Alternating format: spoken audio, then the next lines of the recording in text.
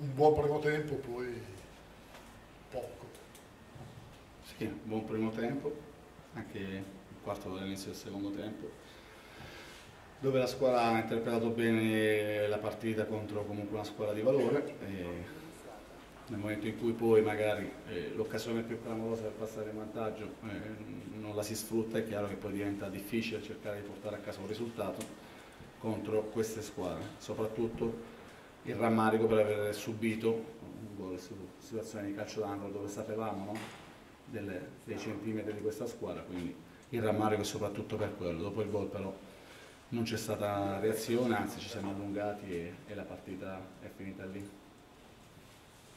ti sei chiesto, te lo chiederai in questi giorni, perché nel secondo tempo il Parma ha così tanti problemi a, a chiudere le partite, nel senso mi sembra che sia la squadra che ha perso più punti nella ripresa della Serie Per chiudere in che senso Sandro? Scusami, per portare a casa dei punti, per... Eh, nel momento in cui eh, tieni la partita in equilibrio per un'ora e, e, e, prendi un gol su una situazione di calcio d'angolo dove ci sono tre giocatori che eh, quando si vanno a fare le, le marcature vuoi per, per, forza di cose che da qualche parte devi concedere, poiché strutturalmente eh, avevamo Bruno Alves, Bastoni che potevano competere a livello di centimetri. E non posso eh, stare a colpevolizzare eh, gli altri dove vanno a marcare dei, dei giocatori dove hanno 20-30 cm di differenza, quindi il rammarico è su quello.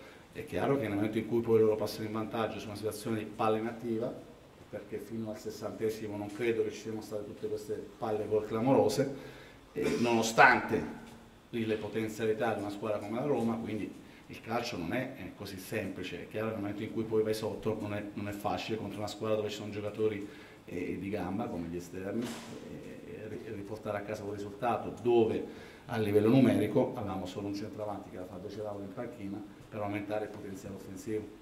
Ecco, la scelta dei tre leggeri davanti senza inglese?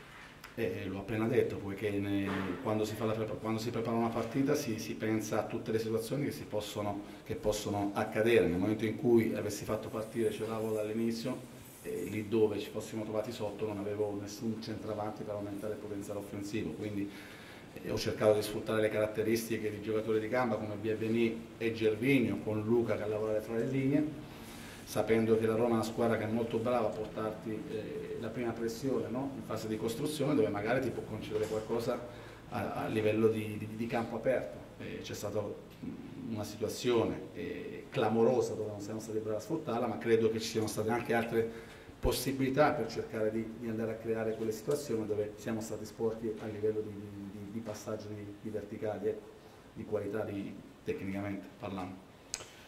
A proposito di questo, dell'ultima eh, dell cosa che hai detto, la mancanza di Scozzarella si è sentita parecchio, giocatore che nella costruzione del gioco vi ha dato tanto nell'ultimo periodo in cui ha giocato.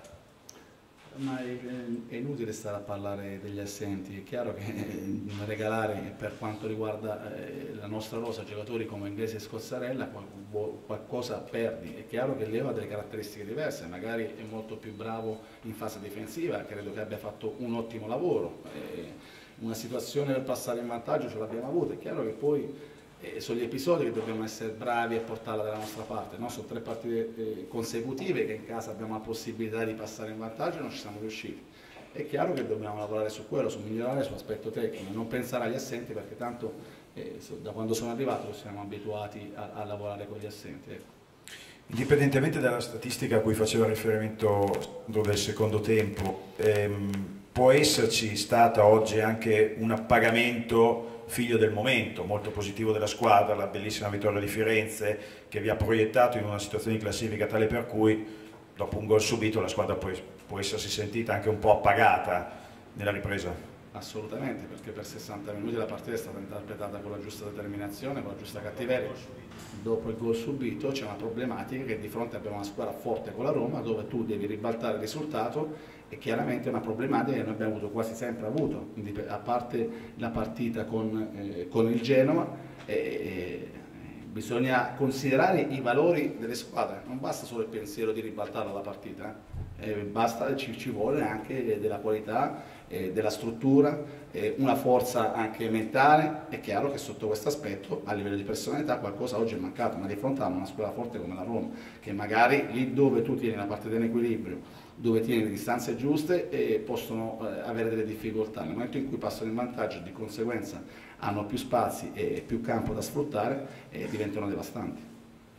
Eh, mister, buonasera. Se mi consentite esco un attimo dalla partita per chiederle un'immagine di questo 2018 straordinario per il Parma, l'immagine di Deversa, Spezia, entusiasmo ritrovato dello stadio contro la Juve, vittoria di Milano, qual è l'immagine del 2018? No, un po' tutto, è chiaro che eh, in questo momento c'è il rammarico e il dispiacere per, per non aver concluso quest'anno eh, dando un risultato positivo al pubblico dentro casa, quindi c'è c'è rabbia, eh, ma per quanto riguarda quello che si è fatto eh, nel 2018, come ho già detto ieri in conferenza stampa, questi ragazzi hanno fatto qualcosa di straordinario, quindi quello che dobbiamo fare adesso, come diceva giustamente Luca, è di non sentirci appagati, staccare perché si sono meritati queste, queste, vacanze e di ritornare carichi perché la Serie A nasconde delle insidie allucinanti, quindi quello che dobbiamo fare è rientrare belli carichi, consapevoli del fatto che per raggiungere il nostro obiettivo che è quello della salvezza c'è da intervenire e da continuare a studiare e a lavorare. Buonasera. Buonasera. Ehm, eh, ho una curiosità da, da appassionato di calcio più che altro.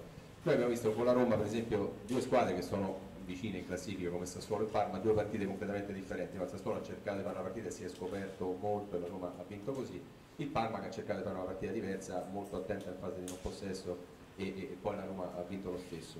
Eh, con questa squadra che lei ha, questo è l'unico modo secondo lei per cui si può fare calcio? Non, non, non, non riesce a pensare a una squadra che possa essere anche, diciamo così, anche un po' più offensiva con i giocatori che ha a disposizione? Ma oggi sinceramente mancando un centravanti di ruolo dove è molto importante per far gioco, l'ho dimostrato Diego, no? perché nel momento di difficoltà spesso e volentieri si appoggiavano a, Diego per salire e per guadagnare campo. E se lei mi parla della partita di, di oggi, chiaramente è normale che eh, l'abbiamo dovuto interpretare considerando i pregi e i difetti della Roma e considerando chi io avevo in campo. Eh, però se vado ad analizzare eh, un po' tutto il campionato c'è c'è l'etichetta, no? perché in Italia ci piace etichettare, no? Non mi sembra che noi con la Juventus in casa abbiamo fatto una partita di ripartenza, non mi sembra che a Torino abbiamo fatto una partita di ripartenza, non mi sembra che a Genoa abbia fatto una partita di ripartenza, però adesso da verso l'etichetta del catenacciano, bello, il calcio italiano è bellissimo, gli altri invece del bel calcio. Io parlo per me, io cerco di interpretare, i miei ragazzi cercano di interpretare per portare a casa dei risultati e se si pensa a quando è stata costruita questa squadra che una settimana prima che iniziasse il campionato non sapevamo se facevamo il campionato di Serie B o di Serie A, con tutte le difficoltà, ed è stato bravo la società del direttore sportivo, ad oggi avere 25 punti, il calcio nostro è bellissimo. Non so se hai sentito la sua rete. No. Se, senti, la, lascia stare quest'ultimo argomento fino alla no, no, no, no, è, è, è una costante, no, mia... è una costante, no, so, ma, ma nasce da qui, non nasce da fuori, nasce certo. da qui, la costante. La mia domanda però riguarda la conferenza fino alla penultima domanda. Domanda, posso già leggere una domanda. Quanti giocatori il Sassuolo aveva che l'anno scorso faceva una Serie B? Oh, grazie.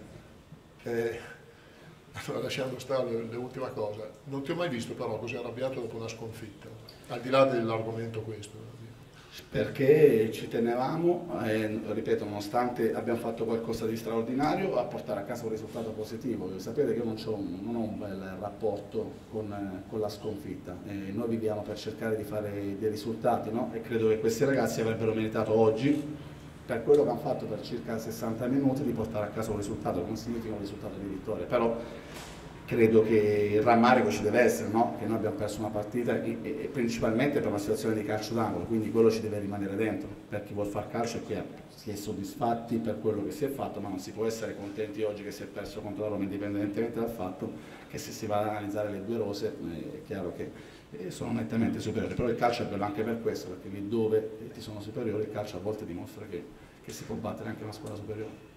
Mister, eh, 12 punti in trasferta contro i 13 in casa, è una squadra che si trova meglio fuori casa? I numeri in questo momento dicono questo, questa domanda mi è stata rivolta anche ieri, è chiaro che nelle ultime tre partite casalinghe pesano molto eh, il fatto che eh, col Chievo non abbiamo, fatto, non abbiamo, vinto la partita, dove eh, c'è stata una circostanza di, un palo, quindi roba di centimetri, lo stesso col Bologna abbiamo avuto una palla clamorosa sullo 0-0 per passare in vantaggio a porta vuota, anche oggi, ma non per colpevolizzare chi, chi, chi si è trovato in quella circostanza è chiaro che gli episodi, no? e come siamo stati bravi a Firenze e in una delle poche circostanze a sfruttarle, a portare a casa un risultato pieno, e dovremmo essere altrettanto bravi di, di farlo anche dentro casa. Sì, buonasera, volevo sapere quando ha saputo di dover rinunciare a inglese? Allora, inglese contro la Fiorentina ha fatto, eh, già nell'intervallo si era parlato di, di, sostituirlo, poi è stato bra bravo e ha stretto i denti eh, e ha fatto tutta la partita e credo che ha fatto meglio il secondo tempo che il primo tempo. E nel giorno del successivo, nel defaticante, è rimasto fermo perché aveva un problema sull'adduttore eh, uguale ha saltato la rifinitura perché oltre ad avere un problema all'adduttore ha avuto eh, un'influenza, quindi eh, nella convocazione non, non l'ho convocato perché eh, aveva anche l'influenza e, oggi era a vedere la partita, quindi questa influenza così, così grave da non farlo convocare mi sembra un po' strano, però eh, principalmente aveva un problema all'adduttore dove lui per finire la partita ha stretto i denti. E ieri sera comunque ha avuto una forma influenzale dove chiaramente l'ho lasciato a casa e non ho fatto venire il ritiro. Grazie. Buonasera a tutti. Tanti auguri di buon anno a tutti. Eh.